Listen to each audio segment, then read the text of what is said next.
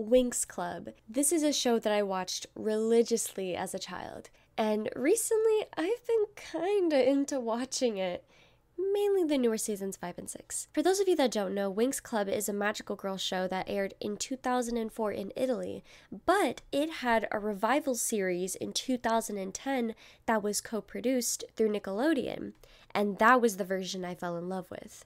We see the story through the eyes of Bloom. She is a young girl who one day discovers that she has magical powers and is the fairy of the dragon flame while saving a girl named Stella. She attends a school for fairies, learns to control her magic, and fights evil with her friends to save the magic dimension in fairy form. They do this for six seasons. There are eight, but um, the last two seasons are um uh they're certainly something. I'm going to also say this now Flora was and still is my favorite of the group, and no one can change my mind. Around the time that I started thinking about Winx Club, I've been also thinking about moths in general. You know the bug? Like, not just normal ones, but like the big boy moths. And why are moths kinda underrated? I've been scrolling through Instagram, I've been scrolling at fan art and Pinterest. Pinterest. Pinterest is my best friend. And then one day, one particular day, I wondered what if moths were magical girls? Or specifically, what if moths were Winx Club fairies?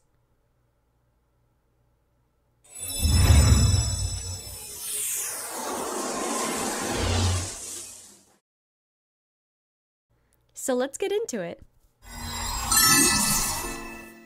So I picked four moths to do for this video, and first we are starting with the comet moth, also known as the Madagascan moon moth. Few fun facts, they were first discovered in 1847 by Felix Eduard Guérin-Méneville. I hope I'm pronouncing this right. They are the largest silk moths in the world, and these moths only live up to 6 to 8 days when they are adults.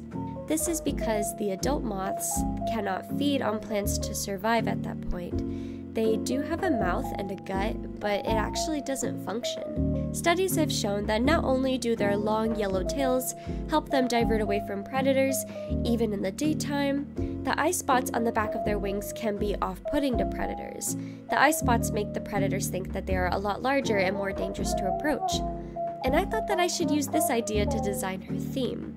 So, my main idea with her is that she's a psychic fairy, and she uses spells to manipulate, scare, or confuse her targets. Kinda like Darcy.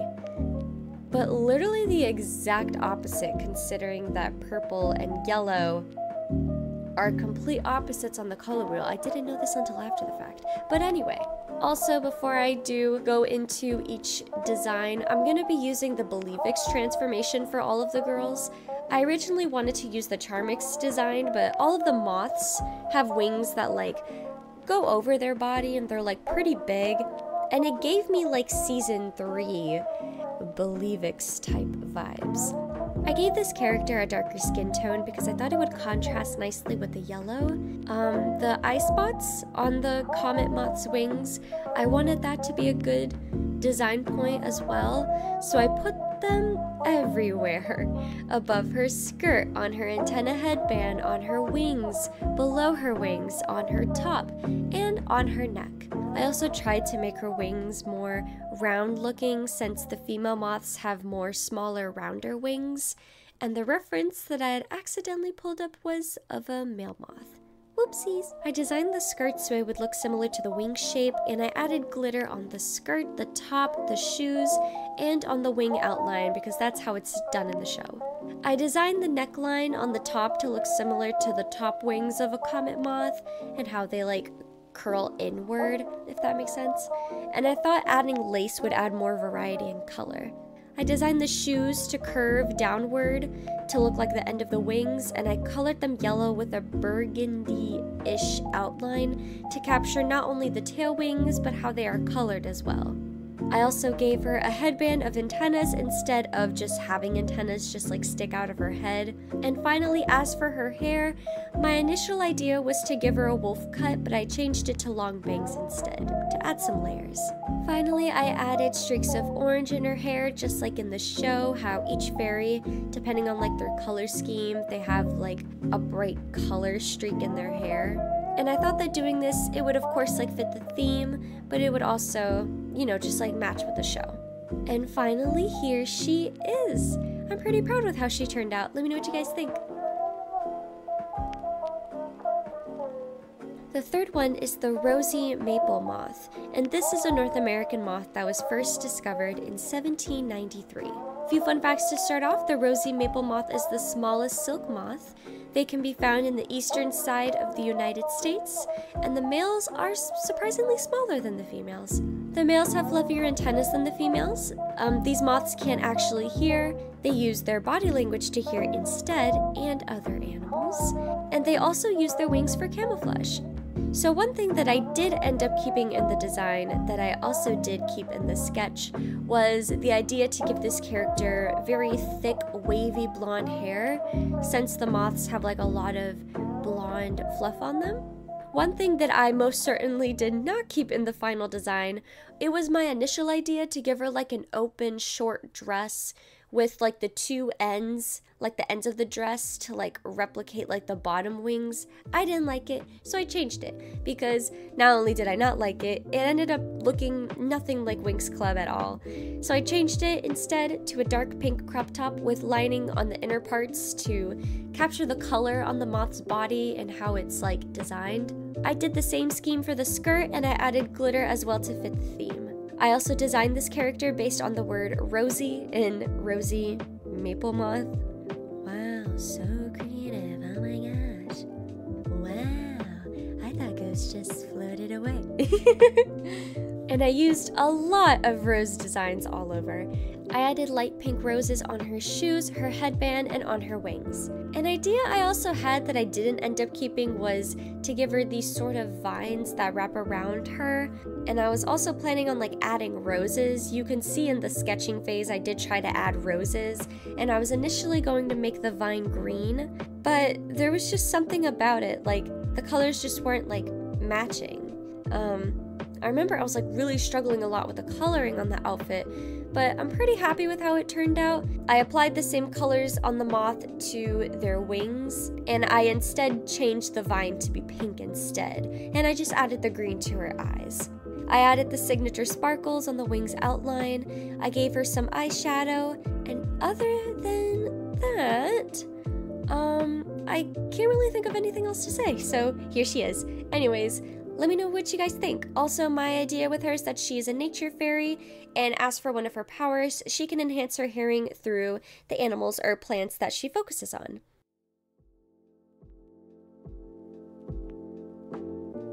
The third moth was the Urnessa curenta, and this decision, I kind of regret it. I couldn't find anything on this thing. Anything. I mean, they are very pretty, I was drawn to them because of their long antennas and their bright red colors. Um, but I think that was the only thing I liked about them. I'm so sorry. I'm so sorry. I've my artist eyes were the one thing that just wasn't helping me in this situation. um, literally, like the only two facts that I found on these creatures while scrolling on the internet was these moths were discovered in 1909 by Walter Rothschild, and they can be discovered in these areas French Guiana, Ecuador, Peru, and the state of Amazonas in Brazil. I kid you not. These were the only things that showed up on every single freaking site that I tried to use. Anyways, I guess I had a pretty good concept figured out with the sketch, but when you go from the sketch to the finalized product, I'm pretty sure that some artists can relate. But you know how sometimes um, the math doesn't math, the art doesn't art, and things start to change. I'm also very sleep deprived. I'm gonna I'm also gonna try to get through this script. Um, but anyways, um, as I was trying to fix her up, my mind started to wander. I started looking at her colors, and I was watching season 6. And then I started thinking about Diaspro. Hmm. I was thinking about how much I hated her, how much I hated her in this freaking show, the different shades of red, the small pops of black and white, and how much I hated her. And then I thought, you know what? Why not make this character a fairy of gemstones? I mean, that's Diaspro's theme. Might as well have a character that could also be under that theme. Um, I wanted to give her these super long dramatic lashes to capture the silhouette of the antennas, and I also gave her a headband with these red gemstones that were like by the headband. I gave her purple eyeshadow to contrast with the red, and recently I've been a big fan of like hair that's like so short, but they've got like long strands or like small long strands in the front of like the hair. So I added like a streak of red to also fit the theme. I colored her clothes pretty much the same. I made her top a bright red with a gemstone in the center, but as for her skirt and shoes, I colored them red with a black outline to add more colors, and I also added some glitter. I of course copied the wing shape to be the same shape as the moths. I added the same circle white patterns, the white circle patterns on the wings, and I also added diamonds on the ends of the wings to, of course, fit the theme of like gemstones. In the end, it feels like this really doesn't fit in with the whole Winx Club category. For some reason, I don't see Winx Club when I see her. It feels like there's a lot going on, and it feels like the colors just aren't working. I think maybe to start off, if I like remove the ruffles from the shoes and change the eyelashes to look like normal ones to fix the silhouette. I think maybe that would help, but you know, I can't go back. Um, I probably would have been a little happier with making her a Charmix design instead, but you know, it's already finished. Like I said, I can't go back. And I think it's alright. I like how the wing shape turned out. I like the outline of the wings instead and how the colors pop here she is. Let me know what you guys think. Also, sorry if I'm acting kind of nonchalant right now. I'm very tired. I'm gonna try to get through this script. But anyway, let's move on to the final one. So here we are, we are on to the final moth for this video, and I think the right way to tell you guys is with a true story. This took place when I went to camp for a few days for a school event. I was in 5th and 6th grade, so I was about 13 or 14. I remember it was late in the evening one day, and these girls and I were just playing basketball at this court, when all of a sudden I saw this like shadow that was like on the floor by my foot, and it was moving. And I looked up, and I saw like the biggest bug fly up to this large light and then spin down and down and down and down until it hit the floor. So I walked up to it very carefully and then I looked down and I realized that this was not a normal bug at all. I thought it was a butterfly or a moth, but because it was nighttime, I figured that it was a moth. This was the biggest moth I had ever seen in my life. And frankly, I have not seen one like it since, I am being completely honest. It had these bright green wings. It had a white body, and it with these like adorable yellow antennas on their head. It was a beautiful moth, and it even had like these tails on their wings. I carefully picked up the moth and I tried to set it down in the grass by this tree. But, um, the moth apparently had other plans because it decided to just make another move on the non existent, unmoving large light, and then it hit the light dead on, and it just fell to the floor again. I didn't want anyone to step on it, so I picked it up again and I just put them on a branch instead. I tried to see if there were maybe any flowers in the area or anything that I could maybe leave for food, but I couldn't find anything. When it was time to leave, I said one last goodbye to the moth, made sure they were secure on the branch, and I left. So, still don't know what moth I'm talking about? Well, this moth, which I would come to later discover, is one of the few largest moths in North America. They were first discovered in 1758 by Carl Linnaeus, and this moth was the first North American moth that was reported in literature. This moth is the Luna moth. They are also called the American moon moth. Like the comet moth and many other large moths, they actually don't have a mouth or a digestive system, and they can live up to a week after hatching. Knowing that fact, actually, and just like, I'm gonna get a little sappy for a second, just bear with me. Um, like, knowing the fact that, like, I got the chance to see a moth so beautiful, and the fact that, like, they only get like a few days to live like after they hatch. Like it seemed like it was such a rare moment and I'm happy that I got to witness and see like such a beautiful creature, you know? So going into the design, I was a little stumped for a while because I was wondering on what route I should go for this character. My initial idea was to give her an open dress. I had like initial like an initial idea of like a tarp that would like drape over her, but that would make no sense at all. I hated that idea, so I skipped it. Um, and as I was researching, I found that the Luna moth was inspired by Luna, a moon goddess in Greek mythology, and I got super excited, guys. Like, I got so excited that I had changed everything from my original concept and I went right into the designing phase. I gave her a green top that drapes to the side to capture the multiple folds that Luna has for her dress, and I also added some lace on the top and at the bottom of the skirt. I also designed her hair to be very similar to Luna's. I made it blonde because I thought it would blend nicely with the green. And I also gave her a darker skin tone for good contrast. I of course designed the wing shape to be exactly like the Luna moths. I added a lighter wing outline as well. I remember I tried to add a darker one, but I think like a lighter wing outlook, it made things more balanced. I gave her a choker with a moon design on it. In some references, I saw Luna with a crescent moon headpiece, and instead of giving her a headpiece altogether, I gave her a yellow antennas that curve inward to capture that same silhouette of the headpiece and, of course, of the moths. I made her wings the theme of the moon, of course, and I added the shape of the moon on the wings and on the tails and on the shoes. So it actually wasn't my initial idea to give her pink hair, pink ideas, or anything at all pink with this character. But a few days ago, as I'm typing this on like a random Wednesday, well, I'm reading typing this on a Wednesday. I'm technically recording on a Friday. Um, basically, I had to go to the hospital for um, health reasons that I don't really feel comfortable with sharing. Um, and as I was waiting on a doctor, while I was drawing, someone sat next to me and she said that she really liked my art. Her name is Ray, and we ended up talking a lot about art in general. I showed her the designs that I was working on for this video, and she showed me her art. We talked for hours in the waiting room. As I was wondering what else I should do for this piece, that was when she had asked, Will you be adding anything pink at all? I told her that I wasn't sure and that I was debating on leaving out the pink entirely. But that was when she brought up the idea of adding the pink to the hair or to the antennas.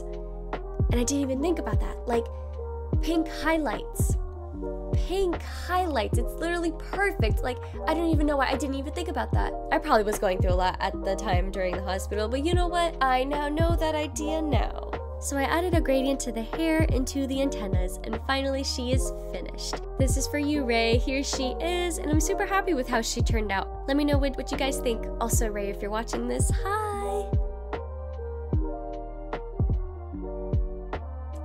So here are all of the four designs that I did for this video. And thank you all so much for watching and listening. I greatly appreciate it. Sorry if I seem um, a little drained. Um, I had a long day at work. Um, and usually I take like a short nap before I like work on my videos or when I draw or when I record. Um, today was kind of stressful. Um, I just wanted to get through this recording so I could at least like try to get it done. Um, but hi. I hope today has been treating everyone well. Um, thank you so much for staying until the end. It is, of course, like greatly appreciated. I really did enjoy like going back to my roots with Winx Club again, and I honestly would love to do more videos like this. If you guys also would like a part two, if you guys have any interesting moths as well that I could design for the next video, please let me know. It would be gratefully appreciated. Your guys' comments give me a lot of inspiration, so please don't hesitate at all. In this video, I had actually meant to get into a rant about how I felt. Um, on Winx Club season 7 and 8 because boy oh boy do I have an opinion on those last two seasons. But you know what, let's save that for the next video. I hope you all enjoyed this video. Please hit like and subscribe to see more of me and more videos and more videos like this. And as always, stay hydrated, stay safe, stay well rested because that's not me right now. I'm very tired. I'm going to go back to bed. Um, I'm gonna try to get a lot of rest because I ne- because I have another shift tomorrow. You can hear it in my stuttering and my um, rapid, sl- but at the same time slow sort of talking. Um, I don't know what I'm saying anymore. I'm probably gonna cut this out. But, anyways, stay hydrated, stay safe, stay well rested, and of course, stay tuned, you guys. Bye! 25 minutes? Brother, ugh. Brother, ugh.